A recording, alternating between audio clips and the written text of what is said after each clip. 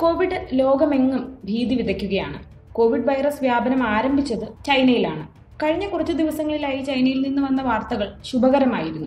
എന്നാൽ ലോകത്തെ ആശങ്കയിലാഴ്ത്തിക്കൊണ്ട് ചൈനയിൽ വീണ്ടും വൈറസ് ബാധിതരുടെ എണ്ണം ഉയരുകയാണ്.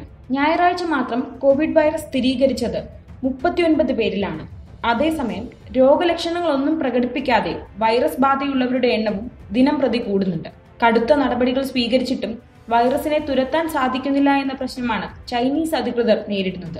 രോഗലക്ഷണങ്ങൾ ഇല്ലാതെ ഇരിക്കുകയും എന്നാൽ വൈറസ് ശരീരത്തിൽ ഉണ്ടായിരിക്കുകയും ചെയ്യുന്നവരുടെ എണ്ണം ഇപ്പോൾ എഴുപത്തിയെട്ടാണ്.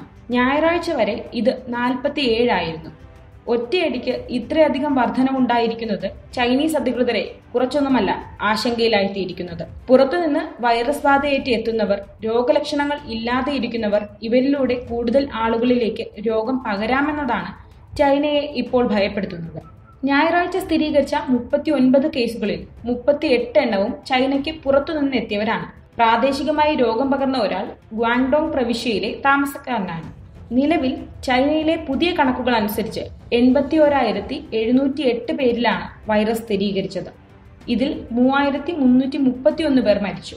രോഗപകർച്ച തീവ്രമായ സമയത്ത് ദിവസേന നൂറിന് മുകളിൽ ആളുകളിൽ വൈറസ് ബാധ സ്ഥിരീകരിച്ചിരുന്നു. ഈ സാഹചര്യമാണ് ഇപ്പോൾ ഇല്ലാത്തത്.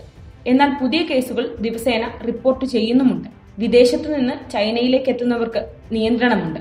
അതുമാത്രമല്ല രോഗലക്ഷണങ്ങൾ കാണിക്കാത്തവരെ കണ്ടെത്തി ഐസൊലേറ്റ് ചെയ്യാൻ പ്രാദേശിക ഭരണകൂടങ്ങളോട് ചൈനീസ് സർക്കാർ ആവശ്യപ്പെട്ടിട്ടുമുണ്ട്.